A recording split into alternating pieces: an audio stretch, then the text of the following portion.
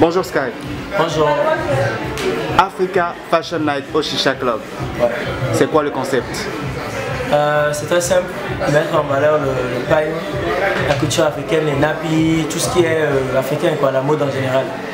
C'est un peu ça. Et vous êtes à quelle édition? Seconde édition.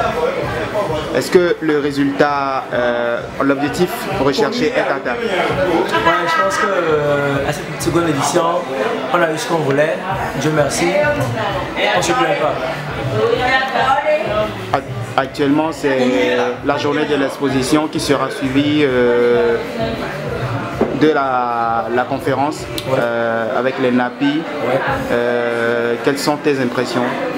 Euh, déjà, je pense que l'exposition, ça se passe bien.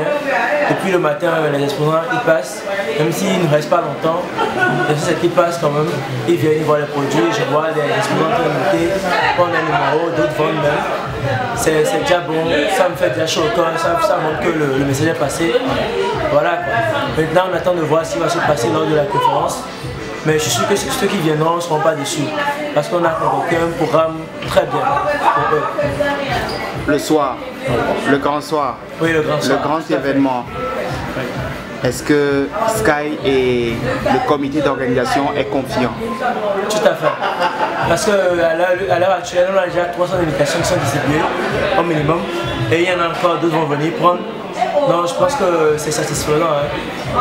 C'est déjà bon. C'est déjà bon. La com est passée, les gens nous ont fait signe, nous appelé, des messages d'encouragement, de soutien. Nickel. Africa Fashion Night, dans trois ans, selon vous? Euh, Fashion Night dans trois ans, je pense que ce sera plus forcément au Club. Ce sera plus grand que ça, euh, plus vaste aussi, avec beaucoup de monde, des exposants venus de l'international, du Bénin, de la Côte d'Ivoire, de la France, des artistes venus d'ailleurs. En tout cas, euh, ce sera grand. On voit les choses en grand. Un mot pour les fans, pour le public et pour les participants qui seront là bientôt euh, Je voudrais d'abord dire merci. Merci à l'équipe qui est travaillé avec moi pour la mise en place de cet événement. Ça n'a pas été facile, du fond du cœur. Merci beaucoup. Merci aux exposants, euh, aux conférenciers, au public qui sera là, ceux qui nous ont appelés pour nous soutenir.